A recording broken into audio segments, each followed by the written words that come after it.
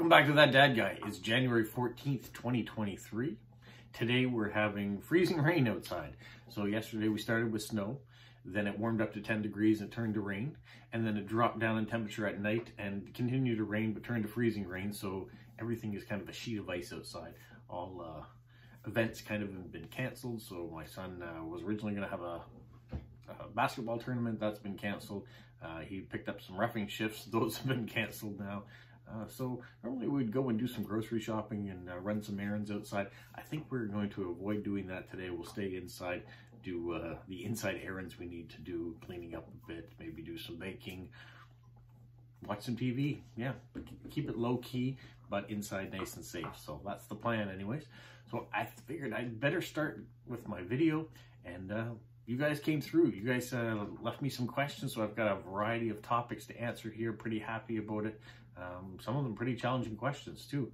So let's get to the first question here on part 49. So the first one I have uh, came from Basil, and uh, he gave an explanation of uh, last week's video and uh, buying stamps versus uh, sticker postage. And uh, his question is, why stamps? Well, he's a, a, stamp collector, so it's kind of a put out there question for everyone else. Why stamps in, in my household, um, uh, as you probably know if you've been following the channel, my father's a, an avid stamp collector, has been for a number of years. And uh, when I was little, I would uh, do stamps with him, whether it was uh, soaking off the back of the paper and doing that process with him, flipping through the books that he had organized, um, uh, collecting uh, first day covers myself, going down to the, the local post office and picking things up. So I got an early passion for stamps as well. Now, as I got older, it became more about filling in some of the gaps for my father for um, birthday presents, things like that. So when I was living in Vancouver, there were some really nice stamp shops close by. So I used to take lists of the, the numbers of stamps that he was missing and go into the stamp shops and try to fill in some of those uh, Canadian gaps that he had. I know he collected worldwide, but uh, the best I could do was trying to complete as much of his Canadian collection there are still many gaps in that collection um, because some of those older stamps were very, very expensive and I didn't have the funds to do it. But I was happy to help participate. And then as uh, we moved back here and got closer to my family again and helping out, um, once again, I was helping buying uh, his collector albums each year at the end of the year as Christmas presents for him. Um, working at uh, Canada Post uh, gave me a renewed uh, sense for stamps again. And um, now really I, am I'm, I'm taking on the mantle for him. You can see his stamp collection back there and all the binders. And um, inside the hut here, I have stamps that people have sent me and uh, stamps that I need to uh, soak off the backs of too and uh, prepare them and eventually try to find them a way to get them into the albums in the order that he has done it with the Scott numbers. So that's why stamps. All right, thanks, Basil. All right. Uh, Okay, next one comes from uh, Smokey in uh, the United States, and he says, I really enjoyed the story about the stamps. I think that uh, you did, you received all those wonderful stamps versus boring labels. So he's referring once again to the package that I had received from my brother-in-law. Um, so it had all the stamps. So if you haven't seen that video, go back to uh, part 48 and watch it. I said, do you find uh, in your work in Canada Post that there are other people who prefer to buy stamps versus the postal label. Um, I'm going to say yes, other Canadian uh, Canada Post employees are stamp collectors. I have run into a few of them now. Um, just talking about it. As far as who likes to get labels versus who likes to get stamps, that's probably a better question for a postal clerk. Um, as I'm, I'm a deliverer, I don't really see who buys stamps versus uh, the uh, the stickers, but I know when I have gone into the postal office and talked to uh, other postal clerks and things like that, I have found other collectors. So there are lots of people out there that are, are still collecting stamps. I do think for the most part, from the demographics that I've talked to, collecting stamps is an older generational thing. Um, so my parents for sure, um, or my father for sure, that his age group were stamp collectors. Um, my age group, I think there are some, and uh, those that are following the channel certainly are some of those people in my age group that are uh, collecting stamps. the next generation down, I don't think it's a problem, at least not here. There are probably some, and I'm not going to discredit those that are out there. There are probably some that are out there doing it, but I think uh, stamp collecting for the most part is an older, if I could put myself in that uh, demographic, an older uh, hobby. All right, so thank you, Smokey. Hopefully that answered that question. All right, Wendy from Canada has said, do you have any airport disaster stories? So we're switching from stamps, we're going to airports, and that's the great thing I love about these questions, is that can be on any topic, so we can be switching all over the place. Airport disaster stories. Well, I've never been in like a, a plane crash. I've never had any of that. I have been in, um, um, you know, delays. Uh, most recent, I would say, is that uh, we were flying to uh, Florida a few years back now, and uh, I left on a different flight than my wife and kids, uh, just because the way that our point system worked and uh, how we uh, uh, paid for the tickets. So I ended up flying up um, on a little earlier flight, I think, but I went straight to Toronto, and they had a flight that was leaving later, but was going through Montreal and then into Toronto. And I got to Toronto, and they were supposed to arrive within like, I don't know, an hour, hour and a half from when I got there. And their flight got delayed on their end and got rerouted, got canceled. And so they ended up didn't coming till about seven hours later. So meanwhile, I was stuck in the airport waiting for them the seven hours, which um, missed both of our connecting flights. So we ended up having to spend the night in a hotel there that the airline paid for, um, and then uh, carrying on the next day. But the problem with when I stayed on because I was on a different flight. My bag got separated from the lot of the rest of the family. So when we all got to Florida, um, my luggage wasn't there. So I had to wait another day before my luggage actually showed up. So that not really a disaster, but certainly an inconvenience in the trip when you're starting off. Uh, you want to have all your luggage and uh, be ready when you get there. Um, yeah, so we've had delays that way. We've had uh, planes that we get to a spot and planes have been canceled and then you get to the next one and now they're overbooked. So we've had delays that way in traveling. Um, no real disasters though. So thank goodness for that. All right, thanks Wendy. Uh, the next question I have is another one from Basil in India. He says, "What's what is ideal weather to you?" Mm. Ideal weather to me would probably be about 24, 26 degrees. So sunny outside, um, just not too hot, but not too cold, something that I can be in shorts and a t-shirt in. Uh, that's nice, ideal weather for me. Uh, I don't really want the snow and the ice, and uh, it might look nice on the ground, but it's certainly hard to get around. And uh, if you're in a sunny climate, you can do pretty much whatever you want. Uh, the downside to the, some of the sunnier climates elsewhere, like I think, oh, I want to go to California, they have sun all the time. Yeah, but they also have wildfires and earthquakes. And, um, and look at Florida and uh, that southern part of the United States. Uh, you know, they're having hurricanes and those. I don't want the, that part of it. I just want the warm. So uh, the Caribbean, you go in there, um, or Caribbean, depending how you say it. Um, they seem to have a trade-off. So you get nice weather, but you're also going to get uh, torrential rains and uh, hurricanes and tsunamis and things that might wipe you out. So I don't want any of that. So that's what's perfect about Canada is that uh, we get all sorts of climates. We get all sorts of uh, weather. And when it gets to the summer, it's beautiful here. Um, you know, we get 30, we get 40 degree uh, uh, weather sometimes.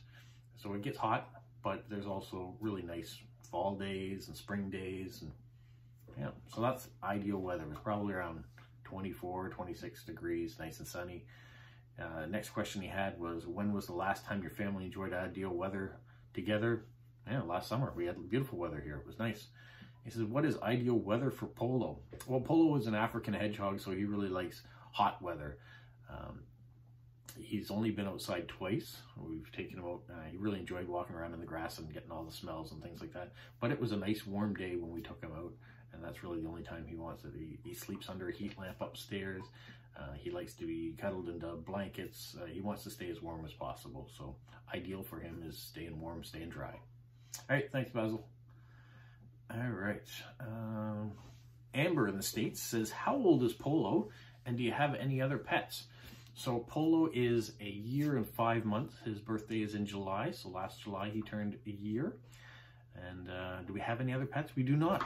So uh, the last pet we had before Polo was uh, Paige, our dog. Uh, she was a Weimaraner. Um, we lost her, unfortunately, uh, to heart disease after about five years. And uh, then we had three years where we had no pets. And my family always have been saying, you know, can we have this? Can we have that? Can we get another dog? Um, I've taken it very hard losing Paige um, and uh, some of the other animals we've had along the way too. We had another dog before that, Darwin, uh, before the kids uh, that we lost at an early age as well from cancer. And uh, so you get really attached to your pets and I find it's really hard when they, they leave you, especially when they leave you early. Um, so my daughter came home, she was working at a pet store and she said, what about a hedgehog? I said, what about a hedgehog? I said no to everything else. He said, well, they only live about five years, um, so short lifespan. Uh, there's not a lot of maintenance to them, not a lot you have to do. And uh, so I had said, you know, you pay for everything, we'll do that. Because she was getting ready to leave for university when we got Polo. And uh, I was thinking, well, pet's not going with you to university. That's not a, a right place for a pet to be. So it means once again, we're going to be with the pet. And I didn't want an animal too that was going to hinder our, our movement. Um, with a dog, you need to find a sitter if you're going to go away for any length of time.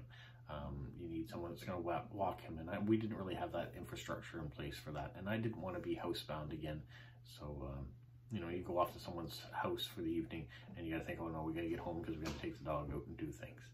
Um, so that's really, really why I didn't want to get back into pets. I, I mean, I also didn't want to get back into pets for the hardship it is when you lose them, but I do understand the love that they do give the family. Um, Polo is a different kind of pet that way because yes, he'll cuddle a little bit, but he really wants to be left alone. Yeah, I mean, he's good for a short period of time, but you're not going to go, he's not going to chase a ball. He's not going to call when you call his name, um, those sort of things. So I know my son is uh, would really love to have another dog uh, for that reason, but he's a couple way years away from uh, graduating from high school too. So for right now, Polo is the only pet we have. So thank you, Amber. All right, my next question comes from Michelle in England, and she says, do you have a car tax in Canada? So immediately when I thought of this, I was thinking, man, no, we don't have a car tax, because I knew in the UK, uh, you have to pay a rate every year, and uh, there's discounts you can get if you're uh, fuel friendly or an EV car. Um, if you have disabilities, there's all sorts of different uh, reductions, but every year if you're a car owner, you have to pay some sort of a tax.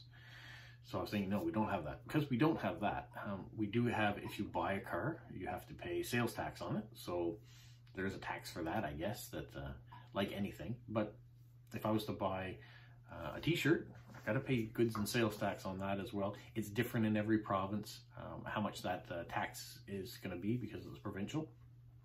So here in New Brunswick, we have what's called a harmonized sales tax. It's 15%.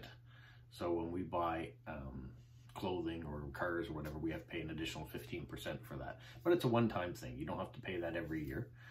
Um, but it's expensive. You buy a car for $20,000 and you have to pay an additional 15% in sales tax on top of that, then that's X amount more, right? So uh, we do have that. There is a, you know, part of your car tax, I think in England includes highways and things like that. Um, and so we do have um, tax we have tax on everything, but there is a tax that's built into our gas prices as well. So when we go to fuel up, um, the rate of gasoline rate now is, I think, around a dollar fifty-three a liter. And uh, so that is inflated because inside that dollar fifty-three is a tax that helps go to pay for all the roads and bridges and things like that for infrastructure. I know not all places do that, and so if you were to buy fuel in the U.S., for example, uh, lots of Canadians love, if they're close to the border, love to go across the border and buy fuel there because it's cheaper. They don't have that inflated tax within it. So do we have a car tax? Not like yours, but we do have taxes associated to having a vehicle. All right, thanks, Michelle. Hopefully that answers your question. All right, my last question comes from Lila in the U.S., and she says, why do you think you are so close to your parents and what is one of your favorite childhood memories? Why do I think I'm close is in proximity? Um, where I live compared to where they live, uh, or close is in a relationship status. If it's a relationship status, I don't know. They they were good parents. They're they are good parents. Um, they've always been there when I needed them. Um, I've never had any hardships with having parents like them. So uh, yeah, I have a good, strong relationship back and forth. Why I live close to them. Uh, I grew up in this city. I have uh, moved away a couple times to go to work or to, to start a family, to have adventures. But uh, when I was raising my family, we came back here because my wife and I are both from this area. So our parents are from this, still in this area. So we came back to be there. And uh, as my parents age, uh, I've taken on some more responsibility with them as uh, my sister has as well. Um, but it's only right. That's what they did for us. And so that's what we do for them as well. So that's, I guess, why I'm close to my parents, proximity-wise and relationship-wise. And I said, what is your favorite childhood memory? Childhood memory about my parents or about, I don't know, that's an open-ended question. Um, I don't know, I had lots of great memories. I had great memories about getting on my bicycle and just going exploring the city. Uh, that's what you did as a, as a child back then. Um, your parents basically opened the door and you were left to go out as long as you came back for supper. Uh, so had adventures that way, uh, whether it was driving down to the post office on my bicycle or maybe going to one of my baseball games on my bicycle. I loved hanging out with uh, my friend Troy and I used to explore all the woods and things around and so we found all sorts of things. We found um, salamanders that we brought home and uh, a big oil bucket we found near his uh, grandparents' house. Uh, so there's a, an inter interesting me memory we had. I don't know, I had a pretty good childhood, I think. Uh, I spent lots of time at camp and had great camp memories and great camp friends that uh, I still have some of those uh, friends today, like Johnny. Um, so, you know, uh, those are great memories and the, the adventures we had at camp, uh, a big part of my summers. Yeah, and as far as family memories, whether it's Christmas morning and the adventures we got into there, um, or uh, family trips. Uh, we had some great trips where we went and stayed in bed and breakfast in Maine and New Hampshire, and uh, you know, my my dad loved to stay at bed and breakfast that had places that had you know goats or animals around that you could go and hang out with. So we had some of those uh, spots along the way too. I know, lots of great memories, I guess. So thank you, Lila. Hopefully those answer your questions and everybody else's questions. I love that there was a variety of topics this week and can't wait to see what you guys leave me for questions for next week. Um, yeah, it's like uh, exploring the inside of my head every time about uh, answering some of these questions. Some of them are lighthearted, some of them are heavy, uh, heavy questions that I got to try to unpack. So thank you so much. I hope you guys have a great weekend, and uh, don't forget to leave your comments and questions for next week. Have a magical week. What follow? You say like, subscribe, share, and tell all your friends. Who's a good boy? Who's a good boy?